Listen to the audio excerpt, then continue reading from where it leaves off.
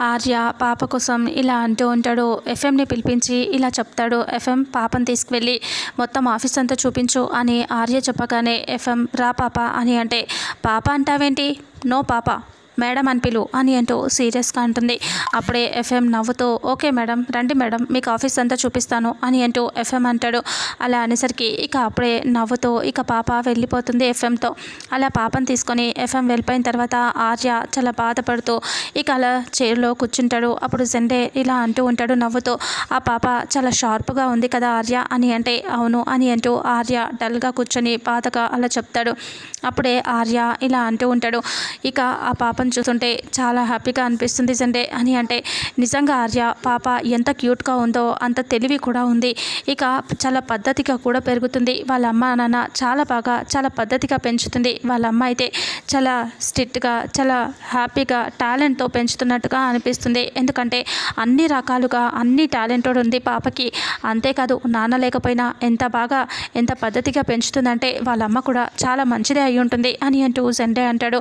అలా అన్నాక ఇక అప్పుడే ఆర్య ఆలోచిస్తూ కూర్చొని ఉంటాడు. అప్పుడే అను బాబుని ఇలా హక్ చేసుకొని ఏడుస్తూ బాధపడుతూ ఉంటుంది. ఆ తర్వాత ఇక్కడ ఛాయాదేవి మాన్సి ఇద్దరు కలిసి ప్రిన్సిపల్కి ఫోన్ చేస్తారు. ప్రిన్సిపల్కి ఫోన్ చేసి ఏంటి ప్రిన్సిపల్? అని అంటూ ఉంటే మేడం చెప్పండి మేడం నమస్తే మేడం అని అంటూ ప్రిన్సిపల్ అంటాడు. అప్పుడు ఛాయాదేవి సీరియస్గా ఇలా అంటూ ఉంటుంది ఏంటి నీకు చెప్పాను కదా ఆ స్కూల్ ఉన్న ప్లేస్ నాది అని చెప్పి స్కూల్ని కూడగొడతారా పడగొడతారా ఏం చేస్తారా నాకు తెలియదు. ఈ త్రీ డేస్లో నాకు స్కూల్ స్కూల్ కావాలని ఆ ప్లేస్ కావాలని చెప్పాను కదా అని అంటూ ఛాయాదేవి అంటుంది. అప్పుడే ప్రిన్సిపల్ అరే అలా అంటారేంటి మేడం? పాపం పిల్లల భవిష్యత్తు కోసమైనా ఆలోచించండి మేడం. పిల్లల జీవితాలు నాశనం అయిపోతాయి మేడం అని అంటూ ప్రిన్సిపల్ అంటే అప్పుడే ఛాయాదేవి ఇలా అంటూ ఉంటుంది. పిల్లల జీవితాల గురించి పిల్లల భవిష్యత్తు గురించి వాళ్ళ అమ్మ నాన్న ఆలోచిస్తారు. నేను ఎందుకు ఆలోచించాలి అని అంటూ ఛాయాదేవి అంటుంది. మేడం మానవత్వంతో ఒక్కసారి ఆలోచించండి మేడం. ఇన్ని రోజులుగా నడుస్తున్న స్కూల్ ఇప్పుడు సడన్గా తీసేస్తే ఎలా మేడం అని అంటూ చెప్తే అప్పుడు ఛాయాదేవి అంటుంది ఇలాంటి మాటలన్నీ నాతో మాట్లాడకూడదు. నా స్థలం నాకు కావాలి అని అంటూ సీరియస్గా అంటుంది. లేదంటే నేనేం చేస్తానో నాకే తెలియదు అని అంటూ గట్టిగా వార్నింగ్ ఇస్తుంది. ఇక అప్పుడే ప్రిన్సిపల్ ఆలోచిస్తూ మేడం అలా అనొద్దు మేడం. ప్లీజ్ మేడం అని అంటూ ఇలా మాట్లాడు మాట్లాడుతూ ఉంటే ఇక అప్పుడే ఛాయాదేవి ఇలా చెప్తూ ఉంటుంది. చూడండి ప్రిన్సిపల్ గారు మీరు ఎవరినో నమ్ముకొని ఆర్యవర్ధని నమ్ముకొని మీరు ఇంత దాకా వచ్చారు. ఇక మీరు ఆర్యవర్ధని పట్టుకొని ఏమైనా వేలాడండి. అంతేకాని నేను మాత్రం వదిలేదు లేదు. నా ప్లేస్ నాకు కావాల్సిందే. అది నాకు చాలా చీప్. దానికంటే ఎక్కువ ఆస్తులు ఉన్నాయి నాకు. కానీ నాకు అదే కావాలి అని అంటూ సీరియస్గా అంటుంది. అప్పుడే ప్రిన్సిపల్ ఆలోచిస్తూ బాధపడుతూ ఉంటే మేడం ఒక్కసారి మేడం అని ప్రిన్సిపల్ చాలా రిక్వెస్ట్ చేస్తూ బతిమలాడుతూ ఉంటాడు. ఇక అప్పుడే ఛాయాదేవి మాన్సి నవ్వుతూ ఉంటుంది. ఇక మీరు ఏం చేస్తారో చేసుకోండి. ఈ టూ డేస్లో నాకు మొత్తం కంప్లీట్గా నా ప్లేస్ నాకు కావాలి. మీరు బిల్డింగ్ ఉంచుతారా కూడగొడతారా ఏం చేసినా సరే నా స్థలం మాత్రం నాకు కావాల్సిందే అని ఛాయాదేవి గట్టిగా వార్నింగ్ ఇచ్చేసి ఫోన్ పెట్టేస్తుంది. ప్రిన్సిపల్ ఆలోచిస్తూ బాధపడిపోతూ ఉంటాడు. ఇక టెన్షన్ పడుతూ ఆర్యకి ఫోన్ చేయాలి అని చెప్పి అనుకొని ఆర్యకి ఫోన్ చేస్తూ ఉంటాడు. ఇక ఇక్కడ మాన్సి ఛాయాదేవి ఇద్దరు భలే గట్టిగా వార్నింగ్ ఇచ్చాం కదా అని నవ్వుకుంటూ ఉంటారు. ఇక అప్పుడే ఆర్యకి ప్రిన్సిపాల్ ఫోన్ చేయగానే ఆర్య ఫోన్ లిఫ్ట్ చేస్తాడు. "ఆ, చెప్పండి ప్రిన్సిపల్ గారు అని అంటే సార్ ఇలా ఆ ఛాయాదేవి గారు వాళ్ళు ఫోన్ చేసి నన్ను బెదిరిస్తున్నారు సార్. ఇలా ఫోన్ చేసి ఇక మొత్తం స్కూల్ ఉన్న ప్లేస్ని నాకు కావాలి అని అడుగుతున్నారు అని అంటూ ఇలా ఇంతసేపు బెదిరించారు సార్ అని అంటూ చెప్తూ ఉంటే ఇక వాళ్ళు అన్న మాటలన్నీ కూడా ప్రిన్సిపల్ ఆర్యకి చెప్తాడు. అప్పుడే ఆర్య ఆ మాటలన్నీ విని చాలా కోపం వచ్చేస్తూ ఉంటుంది. అయినా సరే ఇంకేం చేయలేక ఆర్య సీరియస్గా ఇంకా ఏమేమన్నారు అని అంటే అన్నీ చెప్పారు చెప్పేస్తాడు ప్రిన్సిపల్. ఇక అప్పుడే ఆర్య ఇలా అంటాడు సరే అయితే నేను లైన్లోనే ఉంటాను. నాకు వాళ్ళకి ఫోన్ చేసి ఒకసారి కాన్ఫరెన్స్ కలపండి అని అంటూ ఆర్య అంటాడు. అలా అనేసరికి సరే అని చెప్పి ప్రిన్సిపల్ వెంటనే ఛాయాదేవికి ఫోన్ చేస్తూ ఉంటే ఇక మాన్సి అలాగే ఛాయాదేవి నవ్వుకుంటూ ఆ ఫోన్ని చూస్తూ వీడు మళ్ళీ ఫోన్ చేస్తున్నాడు అని ఛాయాదేవి అంటే ఇక అప్పుడే మాన్సి నవ్వుతూ వాడేమైనా కాళ్ళ బేరానికి వస్తాడేమో బ్రతిలాడతాడేమో అంతే తప్ప వాడు ఇంకేం చేస్తాడు అని మాన్సి నవ్వుతూ ఉంటుంది. ఇంకేం చెయ్యలేక నీ కాలు పట్టుకున్నా పట్టుకుంటాడు. అందులో ఆశ్చర్యమే లేదు అని మాన్సి అంటూ ఉంటుంది. అప్పుడు ఛాయదేవి నవ్వుతూ ఫోన్ లిఫ్ట్ చేసి హలో ప్రిన్సిపల్ గారు ఏంటి మళ్ళీ చేశారు? మీకు పదే పదే చెయ్యకూడదని చెప్పాను కదా. ఒక్కసారి చెప్పాను కదా. ఇంతకు ముందే చెప్పాను. ఇలా చేయకూడదని చెప్పినా వినిపించట్లేదా మీకు? ఆ స్థలం నాకు కావాలని చెప్పాను కదా అని అంటూ సీరియస్గా అరుస్తుంది. ఇక అప్పుడే ప్రిన్సిపల్ అది కాదు మేడం నేను చెప్పేది వినండి అని అంటూ ఉన్నా కానీ నువ్వు చెప్ప చెప్పేది నేను వినేది ఏమీ లేదు. నేను స్థలం కావాలని చెప్పాను అది మాత్రం నాకు ఇవ్వండి అంతే అని అంటూ ఫోన్ పెట్టేపోతే హలో మిస్టర్ మిస్ ఛాయాదేవి గారు అని అంటూ సీరియస్గా అంటాడు ఆర్య. అలా అనేసరికి ఆర్య వాయిస్ వినగానే ఎవరు? అని అంటే నేను ఆర్యవర్ధన్ని అని అనేసరికి ఇక ఒక్కసారిగా మానసి టెన్షన్గా టెన్షన్ పడుతూ అలా సీరియస్గా ఇద్దరు ఒక్కసారిగా పైకి లేచి నుంచుంటారు. అప్పుడు ఛాయాదేవి ఇలా అంటూ ఉంటుంది ఏంటి ఇలా నాకు ఫోన్ చేశారు ఆర్యవర్ధన్ గారు? The great business man Aryavardhan phone చేయటం ఏంటి అని అంటూ ఛాయదేవి అంటుంది. ఆ బిల్డింగ్ కోసం కాలబేరానికి ఏమైనా వస్తారా ఏంటి అని అంటూ ఛాయదేవి అంటే ఇక అంత లేదు కానీ మాటలు చెప్పకుండా అనవసరంగా స్కూల్ జోలికి రాకుండా ఆ స్థలం గురించి వదిలేయండి. మీకు ఎంత కావాలంటే అంత ఇస్తానని చెప్పాను కదా అని ఆర్య అంటాడు.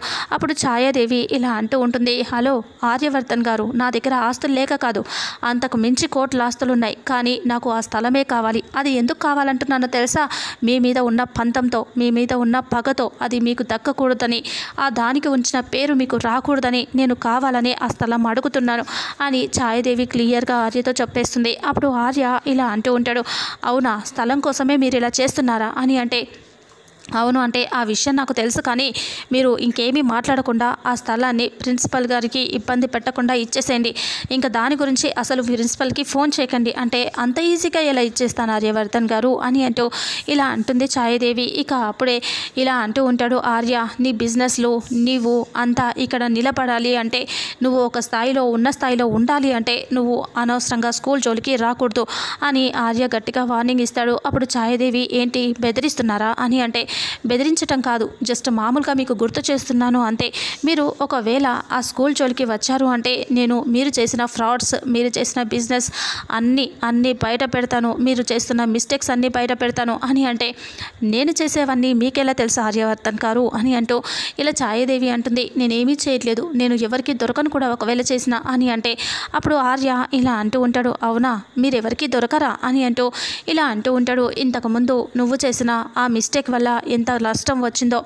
అలాగే ఆ ఇన్కమ్ ట్యాక్స్ వాళ్ళని మేనేజ్ చేసి నువ్వు చేసినవి ఇవన్నీ బయట పెడతాను.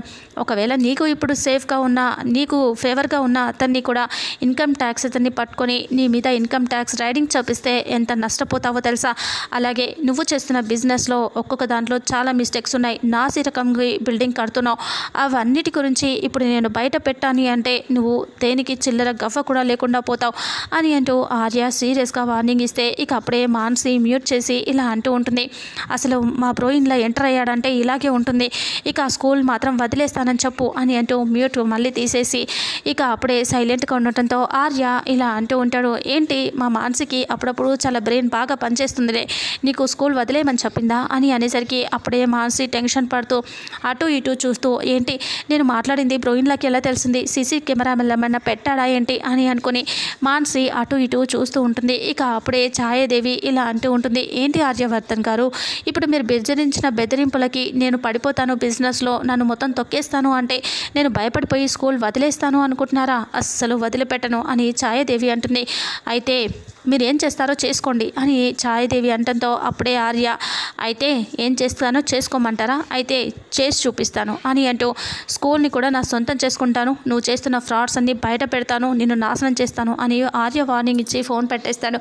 ఆ తర్వాత అను ఇంటి దగ్గర ఎదురు చూస్తూ ఉంటే ఇక బాబు అబ్బాయి అటు ఇటు తిరుగుతూ ఉంటాడు. అప్పుడే అమ్మ ఫోన్ చేయి.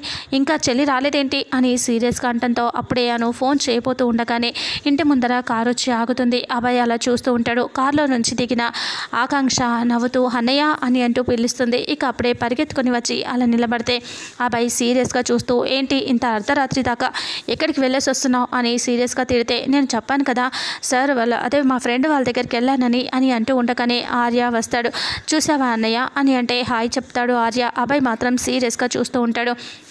అప్పుడే ఆ అబ్బాయి ఇలా అంటూ ఉంటాడు ఎవరిది పడితే వాళ్ళతో ఫ్రెండ్షిప్ చేయకూడదని చెప్పాను కదా ఈ టైం దాకా తిరగటం ఏంటి? అని అంటే అదేంటన్నయ్య నేను ఫ్రెండ్ అని చెప్పాను కదా తనతోనే వెళ్ళాను అని అంటూ చెప్తూ ఉంటే ఇక అప్పుడే ఆర్య అలా నవ్వుతూ చూస్తూ ఉంటాడు. ఇక అప్పుడే సీరియస్గా అప్పుడు ఇలా అంటూ ఉన్న ఆ అబ్బాయి సీరియస్గా చూస్తూ ఉంటే హాయ్ చెప్తాడు ఆర్య. ఏంటి ఇంకా అంత కోపమా? నా దగ్గరికే వచ్చిందిలే నేనే తీసుకెళ్ళాను అని అంటూ ఉంటే ఎవరిని పడితే వాళ్ళని ఇలా నమ్మకూడదని చెప్పాను కదా ఇంత పెద్ద ఆయనతో నీకు ఫ్రెండ్షిప్ పెంటే అని అంటూ తిట్టేస్తాడు. ఇక తను గురించి నీకు తెలుసు కదా అన్నయ్య? త- తను చాలా పెద్ద బిజినెస్ మ్యాన్ ఆర్యవర్ధన్ సార్. నీకు తెలుసు కదా మన స్కూల్కి కూడా వచ్చారు అంటే అన్నీ తెలుసు. నువ్వు నోరు మూసుకో అని తిట్టేస్తాడు అక్ష ఆకాంక్షని. ఇక అను వచ్చి అదంతా చూసి భయపడిపోతూ ఉంటుంది.